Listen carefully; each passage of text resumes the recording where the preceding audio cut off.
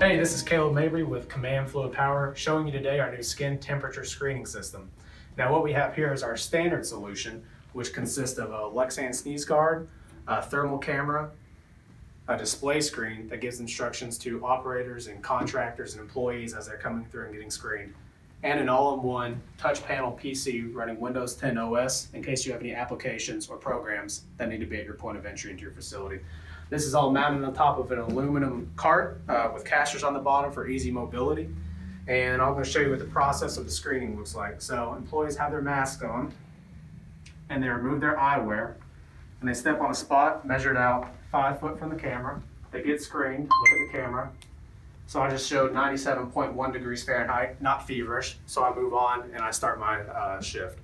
Now, if you pop hot, if you run above that 100.4 that the CDC recommends as a fever, then it gives a buzzer sound and you report to HR or health and safety officials for further screening or instruction.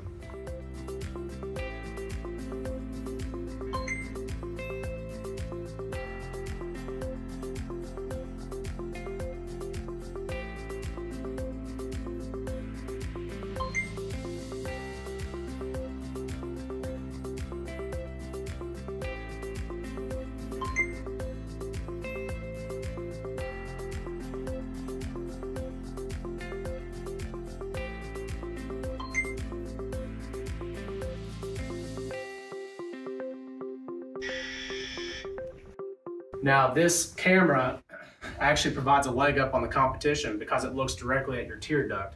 Now when you're measuring skin temperature, the tear duct is the most viable part to estimate your core body temperature, which is why employees need to remove their eyewear. The audible alarms, the speed of the scan, and the non-contact surfaces make this the best solution as you start up your manufacturing processes and as you get back to work. Please call your local location for quotes or our ask for our FAQ, which will help answer any question that you didn't even know you had. And thank you for your time.